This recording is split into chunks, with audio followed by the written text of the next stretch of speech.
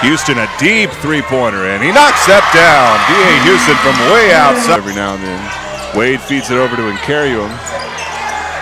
Banks it off the glass and good. Good nice move.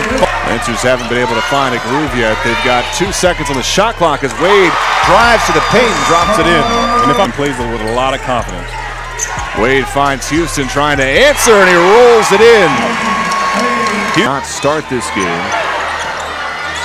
Nkereuwem finds him. Wilkins throws up a three and he knocks it down. Lane nearly turned over.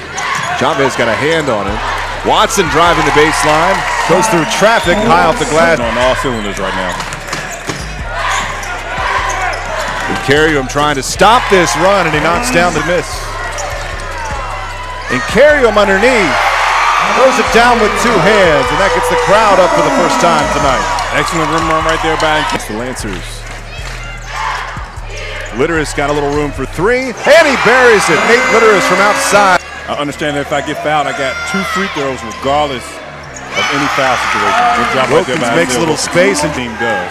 But boy, have the turntables. Napper driving in. Much time left on that clock. Wilkins a deep two-pointer. He's starting to feel it. Isaiah Wilkins trying to get Longwood back. Wade for three. Needed that. Deshaun Wade from outside for the rest of the season. Wade for three. And he's got it. One minute left. Ranlin for three. He buries that.